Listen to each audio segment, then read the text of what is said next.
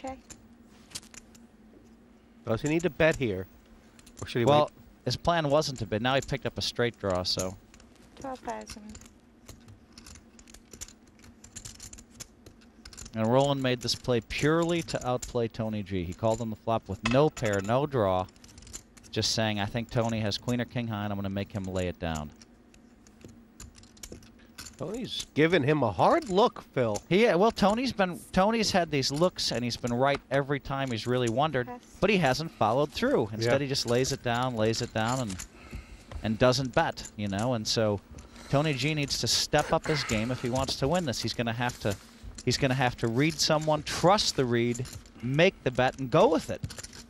Was it the first pot Rollins won on this final table? First one I can remember him winning.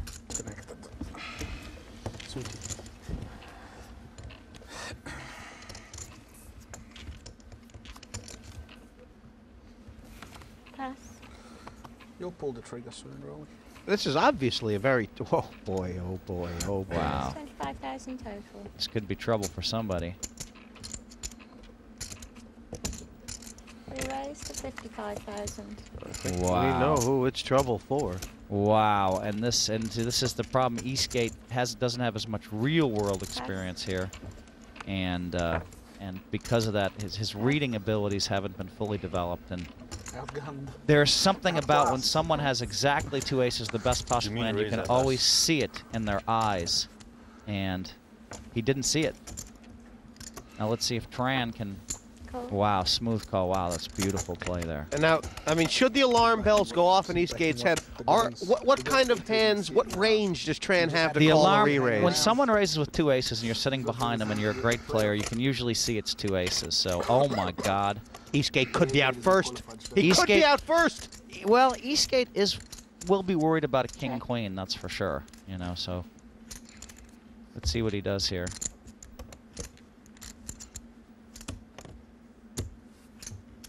Bye bye, Peter. Raise. Alright, I hope you didn't flop a set. Oops. JC got aces. Just a We And de Wolfe knew it. de Wolfe Yep. said JC's got aces. Yeah, well, that's the great players can see it. Well, it's, it's going in anyway, That's so. it. Unless he folds, it's got a complete.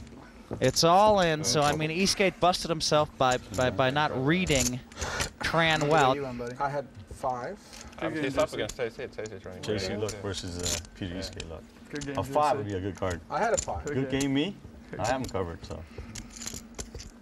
That's a good card for me. That That's is a a, good really card. good card. It's That is a great card. Now he only has two wins in the deck. Like, that's what you do. 20 to 1 favorite. Just has to avoid a king, and he has a massive chip lead. oh, Oh, good. buddy. Yeah, good Just in case there was any doubt, there's the ace. And so I think Good Eastgate kid. kind of unnecessarily busted himself early there. Um, you know, re-raising with king nine of spades just didn't need to do that. It was too early in the game to take a big chance like that, especially against the guy who's been reading him perfectly and, and played him perfectly, to be honest, on this hand. Tran was Eastgate's bogeyman throughout this whole Premier League, Phil. And oh wow, I mean, look at this. Eight, nine, three. That's a lot of chips. Wow, he has like 50% of the chips almost. That's a scary amount of chips. He's playing great. I play pretty much the best I can do, and uh, I just happened to not to be my day.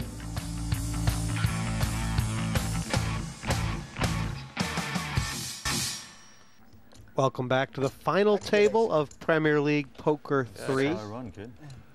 I An open seat where the world champion used to be.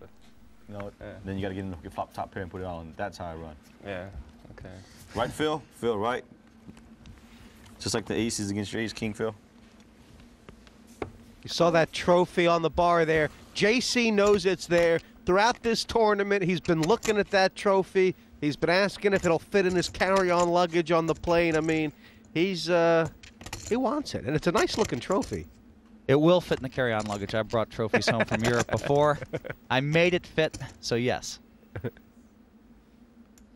And there'd be a certain sort of logic, I think, if you had a different table lineup, Phil, uh, where people are just going to say, "All right, now it's time to hunker Yeah. down and play for second. But these aren't those guys. Yeah, and look at this hand. Dwan re-raised me with Jack six and a heat. He re-raised somebody else with Jack six. I think he likes to treat Jack six like Ace King. Now let's see what JC does here. It Tran's limped here with the ace eight, which is which is weird starting out. Yeah, but if he's reading, if he's really on the top of his game and trying to play every look at this, he went right with him, and now, and now Dwan knows he's in trouble, but he doesn't know how bad a shape he's in. And the great thing about Tran's smooth calls, he just smooth called with aces. So Dwan has about, oh, he has about 180 back. Can he win this pot with JC having bottom pair? I'm waiting for an ace. He's waiting for aces. I guess there's there's there's three options here, Phil. Check, bet small, or bet big. if Dwan bets small, he's getting called. If Dwan bets medium, he's getting called. He checked.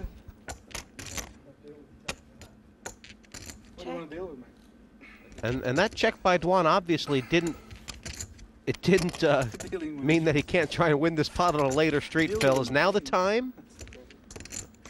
Well, it's a very interesting hand here. I mean, Dwan caught a great card here to give him an open-ended straight draw. Um, You know, isn't the problem is that if he makes sort of a bet and gets raised, then he's he's you know he's not going to have a chance to try and hit the straight. I mean, that's a Dwan's thinking about potentially moving all in. That's certainly one of his options here. And uh, if he bets 40 or 50,000, he could easily get called. seven thousand. JC can still beat Ace Jack. He can still beat Ace Queen. Pass. Wow, just laid it down. There's only a couple hands I can beat. That's right. Deuce three and four deuce. How about Jack six offsuit? I had four deuce beat.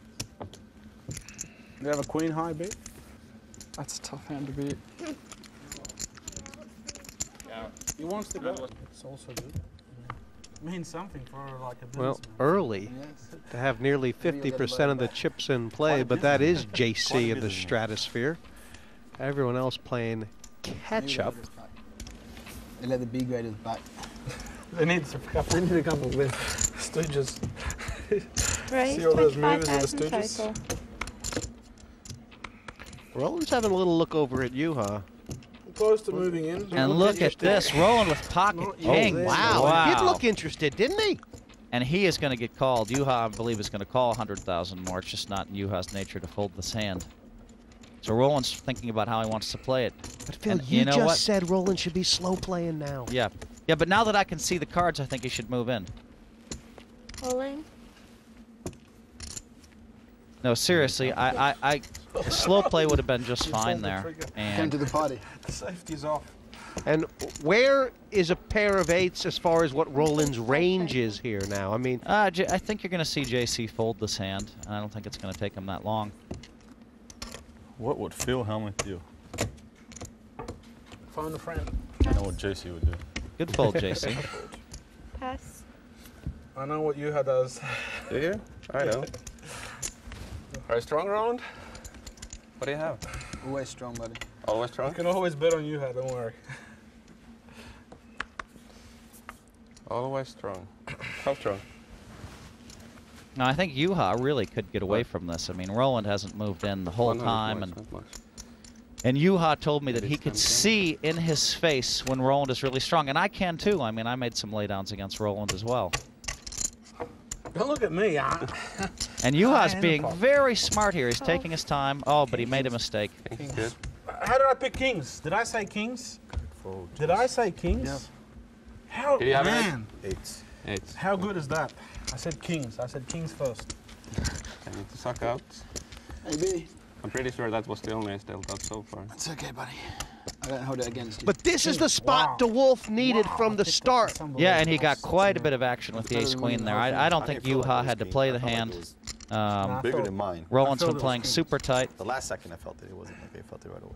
Kings. Oh my Butch has a God! bag And there's an ace. Wow, that's just like not even right. bad news, but Wow. news it might still come.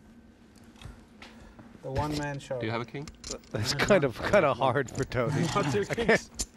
Do you been- have a king? That's the needle. The bear is poking back out of the cage, and wow.